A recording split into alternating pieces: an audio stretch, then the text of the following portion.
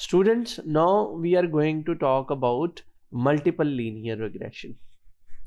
Multiple linear regression is actually an extension of simple linear regression, but there is one basic difference.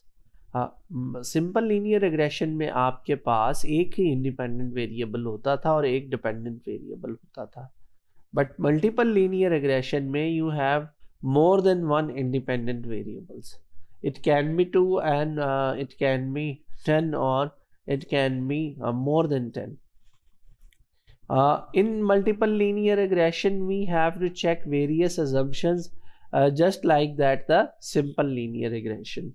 The first assumption for uh, for the uh, multiple linear regression is that your dependent variable should be measured at continuous level it should be an indexed score. It should be a composite score. Uh, when we talk about the independent variables a majority of the your independent variable should be in continuous uh, in nature. And there may be uh, some variables that can be included in the model. And they may be uh, nominal variables like gender. And they may be variables uh, like uh, sex and there may be variables like religion और any possibility of yes no before performing multiple linear regression we have to check the possibility of uh outliers in our data set हमने इसके ऊपर detail में बात कर चुके हुए हैं अपने प्रीवियस uh, जो है मड्यूल्स में कि आउटलायर्स कैसे अफेक्ट करता है आपके लीनियरिटी को रिलेशनशिप को।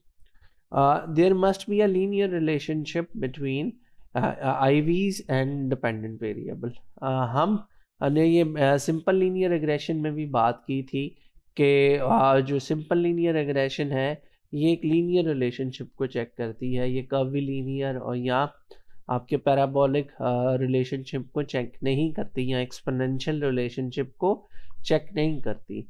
तो मल्टीपल लीनियर एग्रेशन के लिए भी ये एजम्पन फुलफ़िल करना बहुत ज़रूरी है कि आपके आईवीज और डिपेंडेंट वेरिएबल में जो रिलेशनशिप है वो लीनियर इन नेचर होना चाहिए। आपका डेटा में मल्टीवेरिएट नॉर्मलिटी होनी चाहिए यानी डेटा जो है उसके प्रोडिक्टेड रिजिडुअल्स और स्टैंडर्डाइड रिजिडुअल्स जो है वो uh, उनमें एक लाइन फिट होनी चाहिए। मल्टीकुलियनैरिटी uh, नहीं होनी चाहिए बिटवीन इंडिपेंडेंट वेरिएबल्स अब मल्टीकोलिनियरिटी को हम आगे जाके डिटेल में डिस्कस करेंगे कि इसको हम कैसे चेक कर सकते हैं। And there should be homoscedasticity in the data set data जो है उसको स्कैटर्ड होना चाहिए इन अ सेंटर और वो कोई कौन शेप में उसके एरर टर्म्स के साथ उसकी वैल्यूज़ का एक्स की वैल्यूज़ का uh, जो है रिलेशनशिप नहीं बनना चाहिए। तो अगर हम इसकी बात करें प्रोसीजर की तो S P S S software में हम एनालाइज में जाते हैं रेग्रेशन में से लीनियर को सिलेक्ट करते हैं और अपने डिपेंडेंट वेरिएबल्स के साथ जो आपका सेट ऑफ़ इंडिपेंडेंट वेरिएबल्स हैं वो ऐड कर देते हैं इंडिपेंडेंट्स में। इस मॉड्यूल uh, में हमारा जो डिपेंडेंट वेरिएबल है वो ऑनलाइन ब्रिजिंग सोशल कैपिटल है और जो हमारे इंडिपेंडेंट्स हैं वो वेरियस फॉर्म्स ऑफ़ मोटिवेशंस हैं टू यूज़ सोशल मीडिया इसमें online self disclosure making new social ties maintain existing social ties seeking and sharing information self expression ये तमाम मोटिवेशंस को जो है हमने इसमें एज इंडिपेंडेंट वेरिएबल ऐड किया है to predict the variance of online bridging social capital जब आप इसकी ऑप्शंस पे क्लिक करेंगे तो बाय डिफ़ॉल्ट आपके पास एस्टीमेट और मॉडल फिट का मॉडल फिट का जो बॉक्स है, वो चेक आएगा।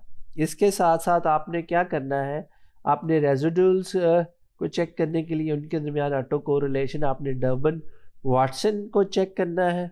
मॉडल फिट एनालिसिस की बात करनी है।